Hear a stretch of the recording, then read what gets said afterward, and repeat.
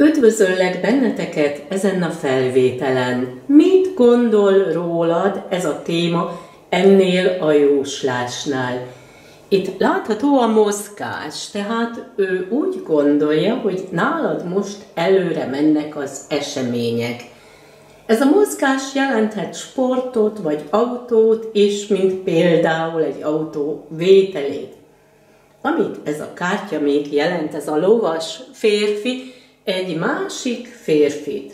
Mert lehet, hogy még van egy párkapcsolatod, vagy ő úgy gondolja, hogy egy férfi visszatér a múltból, vagy van valaki a háttérben, aki gondol rád, rajta kívül álmodik, álmodozik rólad, hiszen a hold az jelenti az álmokat és az álmodozásokat.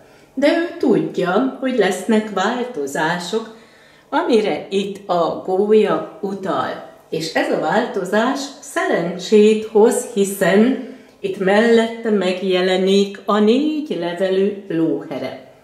De ő úgy gondolja, hogy vannak problémák is, amire ez a torony utal, hiszen fogva érzed magadat a munkahelyen, vagy a családban, vagy a lakhelyet illetően, vagy van még egy pár kapcsolatod, amiből szeretnél kilépni.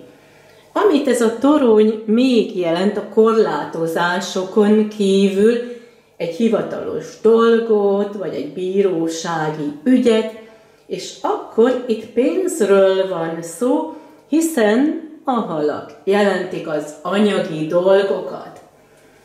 Itt látható a beszélgetés, hiszen a madarak ezt szimbolizálják. Ő úgy gondolja, te szeretnél ezekről a dolgokról beszélni veled. Itt tisztázódik valami, hiszen a lilium jelentheti ezt a témát.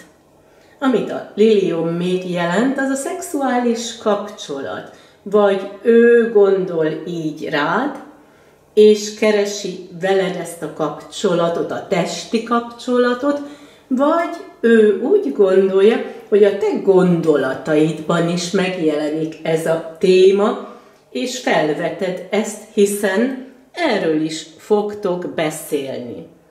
A halak nem csak az anyagiakat jelentik, hanem a belső értékeket is.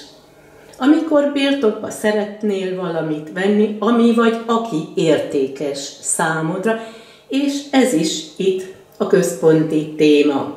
Kihat a kommunikációra. És én kívánok neked egy szép napot, nagyon sok szeretettel, Denderá.